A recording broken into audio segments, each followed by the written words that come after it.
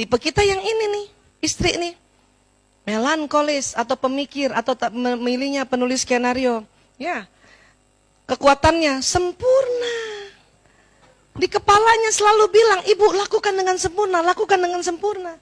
Makanya waktu itu saya bilang, gampang mau tahu tipe ini, pencet odol dari bawah. Lipat, sabun cair, habis kocok-kocok pakai air. Itu karena ingin sempurna habisnya. Memang istilahnya irit. Kalau terlalu ekstrim, pelit. Ini analitis, pemikir yang mendalam. Apa-apa dipikirin. Sampai kadang susah tidur. Ya. Ada nih cerita cerita nyata nih, saya juga pernah share kemarin di Islam itu indah ya. Suaminya tipe ini, istrinya tipe ini. Tidur pakai guling. Udah lelap itu suami dibangunin sama istrinya. Ayah, ayah, ayah, ayah. Kaget. Ada apa? Ada apa? Gulingnya kebalik. Guling kebalik. Apanya kebalik? Kata suaminya yang tipe ini. Yang dia pakai aja kan? Kembang-kembangnya harus menghadap ke atas. Ya Allah. Kata istrinya, saya takut nggak bisa tidur ya. Kalau lihat ini terus kan lihatnya begini terus. Itu suaminya, ya Allah gini dong.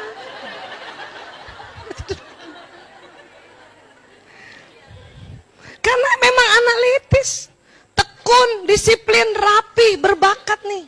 Tipe ini nih. Makanya pemusik Berarti tipe ini. Penulis buku tipe ini. Pemahat patung pasti tipe ini, Bu. Dia ukir. Michelangelo itu pemahat patung Yunani. Waktu dia mau pahat patung berbentuk manusia, dia masuk ke ruang ya mayat dulu untuk lihat otot gimana seratnya ya, ya gitu.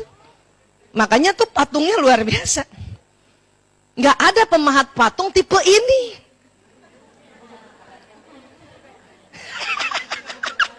Gak ada tipe ini. Tapi yang nanti pasarkan tipe ini. Yang memarketingkan tipe ini. Kenapa? Dia tipe pembicara. Ramah, hangat, antusias, bersahabat, responsif, banyak bicara. Dia akan cerita, Ibu, patung ini ya Allah, Masya Allah, dibuat oleh seseorang yang sangat paham akan lekuk-lekuk otot itu. Waktu dia cerita seolah-olah dia yang bikin. Karena tipe ini jago buat. Cuman nggak bisa promosi. Disuruh promosi keringat dingin. Gimana caranya bu? Uh, uh, karena pemikir bukan pembicara. Ini. Kelemahannya apa? Pemurung bu, pemurung. Kenapa? Karena semuanya pengen rapi. Dan tidak semua orang rapi. Nih, tipe ini kurang bermasyarakat. Kenapa? Tipe ini senang di dalam rumah. Sudah gitu punya ruang sendiri. Ya ini tipe ini. Melankolis. Bahkan tipe ini bu, meja kerjanya kalau ada yang dudukin dia tahu. Ini pasti ada yang duduk di meja kerja aku nih. Kok kamu tahu? Kursinya bergeser 30 derajat. Ya Allah. Tipe ini nih, uangnya diambil di dompet, dia tahu. Ini dua lembar hilang 100 ribuan nih. Kok tahu bu? Nomor serinya saya atur. Nomor serinya saya urut. Ya Allah. Mana ibu tadi yang pilih penulis skenario? Betul, dompet terapi kan? 10 ribu sama 10 ribu kan gitu? 20 ribu 20 ribu kepala pahlawan hadap kanan-kanan semua. Dapat kembalian jelek biasanya tuker. Tuker dong tuker. Ya. Iya kan bu? Iya. Nggak ada bu. Ya ampun. Dia setrika pakai tangan tuh. Baru dimasukin. Ini tipe ini. Ya iya.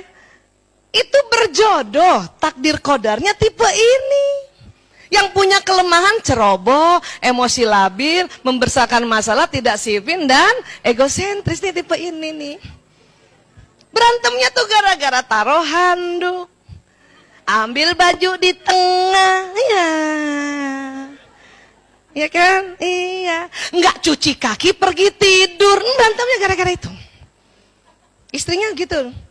Cuci kaki, cuci kaki. Mungkin awal-awal pernikahan, mas cuci kaki ya. Oke, masih mau. Sepuluh tahun, mas cuci kaki. Ya Allah gini doang, tadi gue udah cuci kaki kata suaminya.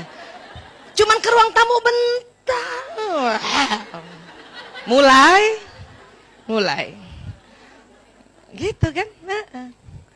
Tipe ini nih, dia tahu kos kaki kanan sama kos kaki kiri beda. Ibu, tipe ini tahu nggak kos kaki kanan sama kiri beda? Enggak.